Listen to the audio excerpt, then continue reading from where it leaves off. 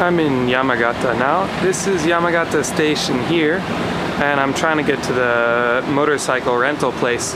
There's a bunch of buses but I don't know which one to take and I don't really know their time schedule so I'll probably walk it. It's about uh, five or six kilometers.